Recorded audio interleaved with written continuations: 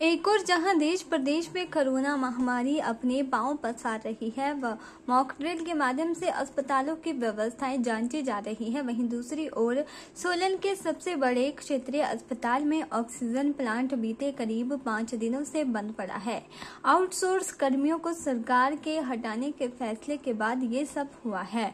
अब अस्पताल की सारी निर्भरता ऑक्सीजन गैस सिलेंडरों पर निर्भर हो गई है। इस समस्या के बारे जब जिला स्वास्थ्य स्वास्थ्य अधिकारी डॉक्टर अमित रंजन से बात की गई तो उन्होंने बताया कि आउटसोर्स कर्मचारियों को हटाने के सरकार के फैसले के बाद ऐसा हुआ है। उन्होंने आश्वासन दिया कि सरकार से बात करके जल्द ही इस ऑक्सीजन प्लांट को सुचारू किया जाएगा।